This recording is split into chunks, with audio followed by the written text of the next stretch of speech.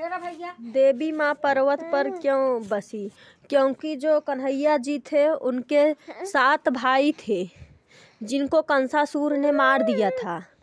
मगर कन्हैया जब जन्म लिए थे तो उनका हाथ गोड़ बांधा हुआ था जो उनके पिता बासदेव थे।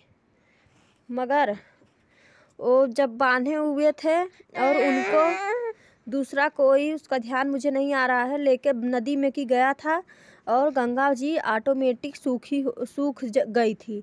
जैसा कन्हैया जी बीच बीच में जाते थे वैसा सो सूखी जाती थी।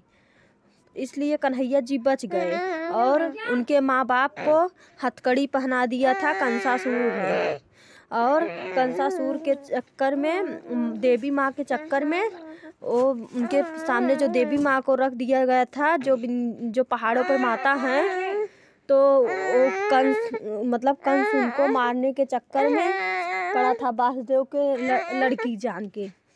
मगर वो थी देवी, उनका हाथ पकड़ के खींच ली थी। कंस को एक हाथ नहीं है। इस, वही देवी जी अपना राजपाट कर रही हैं पहाड़ों पे और कंसासुर कहीं जंगल में गिरा हुआ है।